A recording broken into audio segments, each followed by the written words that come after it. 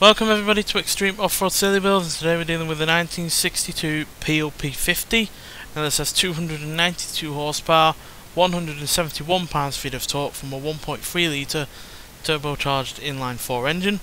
And it is the lightest vehicle that we've had on this series by some considerable margin at 505 pounds. And yeah 0 to 60 is only dealt with in 4.467 seconds. 0 to 109.967 seconds.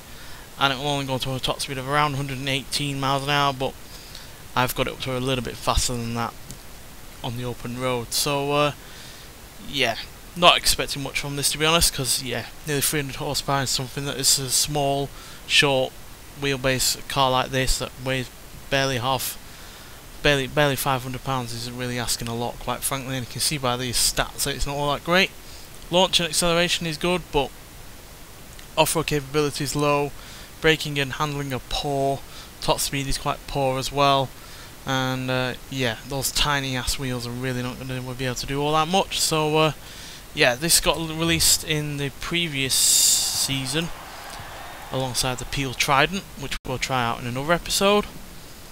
Because uh, even though they do have the same horsepower and torque from the same engine that's been swapped in, the Trident is a little bit heavier, but it is also a better balance as well, so maybe that'll be better than this, but yeah, I'm not expecting this to be quick at all. It's undoubtedly going to be the slowest that we've had on this series so far.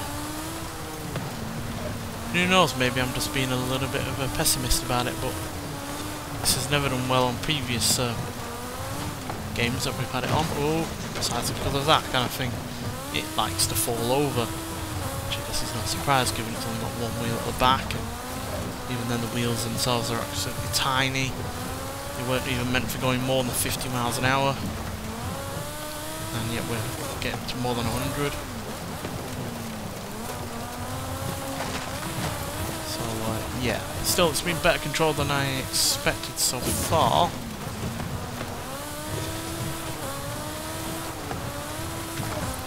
Is undoubtedly going to fall over at some point. I have no doubt about that. See, we can get it up to more than 118. Don't know why when tuning it it was only saying 118 miles an hour, but I can only go off what I can uh, read on the stats. Either way, even 130 is not quick enough really. Consider that you can get up to way more than that with certain cars.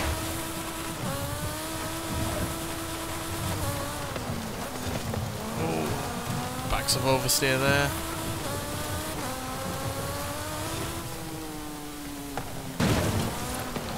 This is surprisingly being rather well behaved.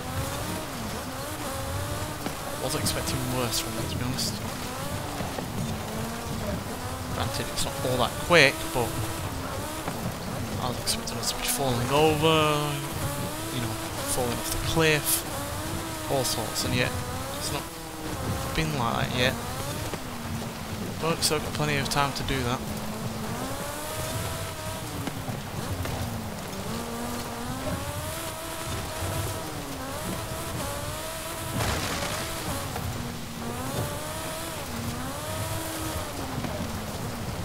Oh, and yeah, this does have all-wheel drive, off-road tyres, and off-road suspension, got to say, but yeah, not like not like it really is helping all that much, I doubt.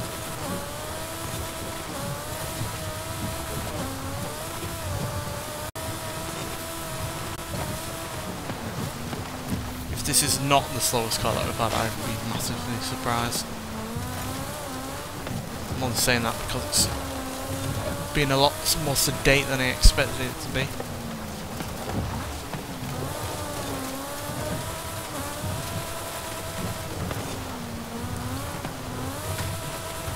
Yeah, we are definitely going to be the slowest. It's already nearly up to three minutes. We're not close to the end yet. Had to use a rewind yet. Which we have had to do for, you know, four-wheel drive cars and normal kind of vehicles.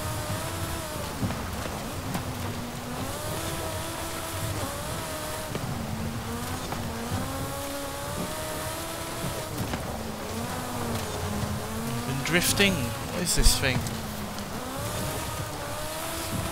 near as bad as it was in the previous game.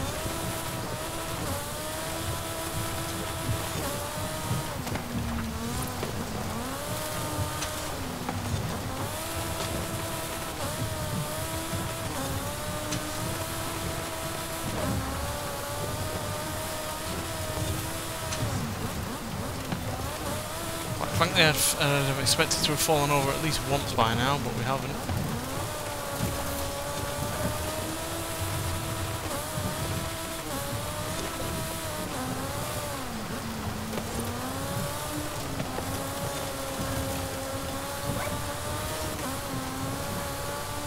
Well, we're definitely the slowest car that we've had on this series so far, but quite frankly I was expecting it to be a lot worse. So yeah, 4 minutes 12.644 puts us oh, about 30-ish seconds slower than the Renault 4L Export, which was originally the uh, slowest car that we had, and as with the Renault 8 Gordini not that far behind. So uh, yeah, but even though it is the slowest car that we've had so far in this series, I was expecting it to be a lot more difficult to drive, and it really wasn't.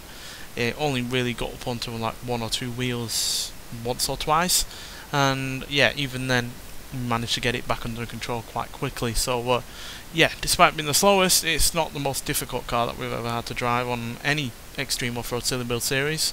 And yeah, in comparison to the previous game, this was a uh, yeah definitely a lot more controllable. Not sure why.